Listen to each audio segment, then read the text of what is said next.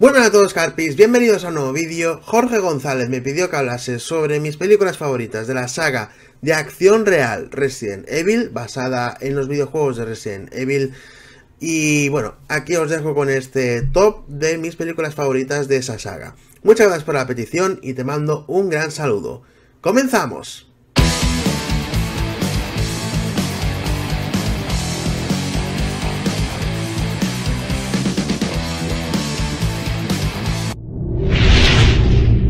Pues comenzamos y en el quinto puesto de las mejores películas de Resident Evil he situado a Resident Evil 5 Venganza.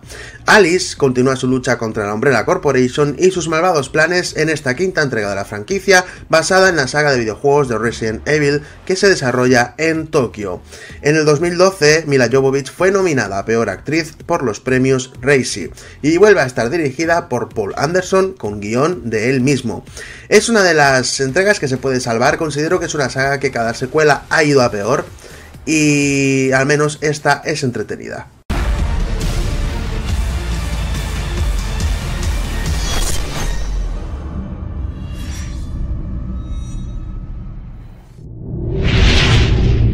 En el cuarto puesto he situado Resident Evil 4 Ultra Tumba, también dirigida y escrita por Paul Anderson.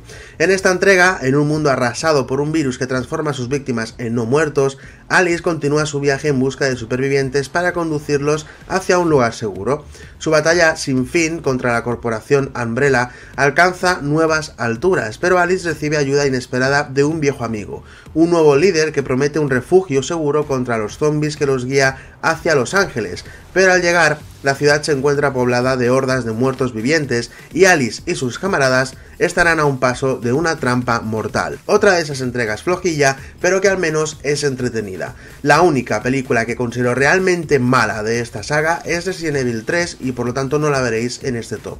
Pero creo que Resident Evil 4 se puede ver.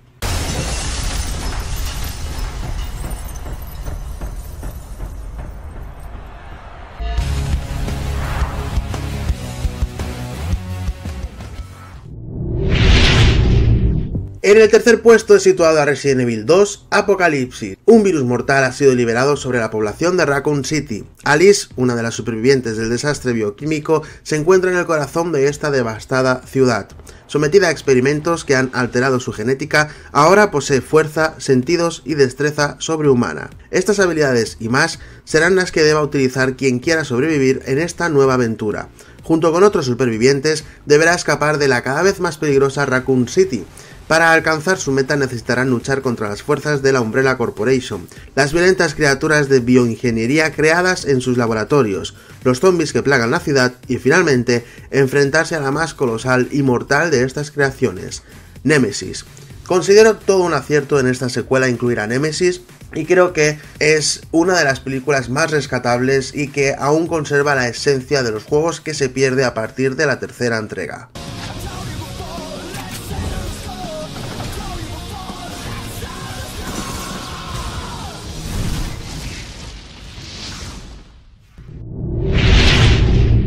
En el segundo puesto, y aunque algunos os sorprendáis, he situado a Resident Evil el capítulo final.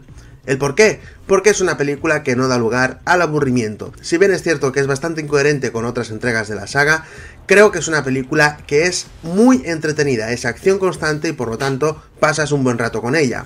La humanidad está agonizando tras la traición sufrida por Alice a manos de Wesker. Alice deberá regresar a donde comenzó la pesadilla, Raccoon City, y allí la corporación Umbrella está reuniendo fuerzas antes de un último ataque a los supervivientes del apocalipsis. En una carrera contra el tiempo, Alice tendrá que unir fuerzas con viejos amigos y un inesperado aliado en una batalla contra hordas de zombies y nuevos monstruos mutantes. Será la aventura más difícil de Alice para salvar a la humanidad, que está al borde de la extinción. Lo dicho, es una película muy entretenida que no da tiempo a que te aburras y por ello, para mí, es la mejor secuela que tenemos en esta saga.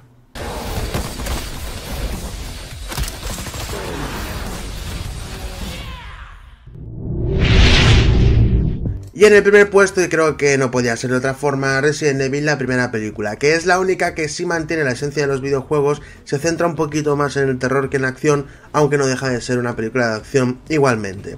En esta entrega, en un centro clandestino de investigación genética con fines militares de una poderosa multinacional, se produce un brote vírico que contamina todo el edificio.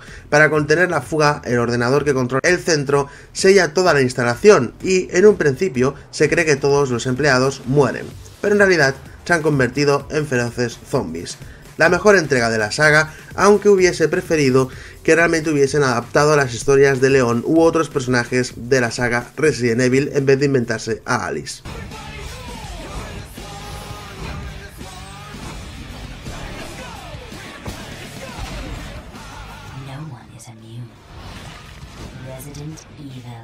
Y hasta que llegamos hoy. Estas son mis películas favoritas de la saga Resident Evil, el live action protagonizado por Mila Jovovich. ¿Qué os parece a vosotros esta saga? ¿Os gusta? ¿No os gusta? ¿Cuáles son vuestras favoritas? Podéis dejarlo todo en comentarios.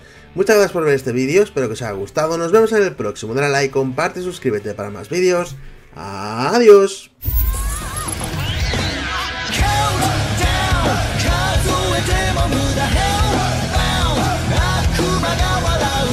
don't want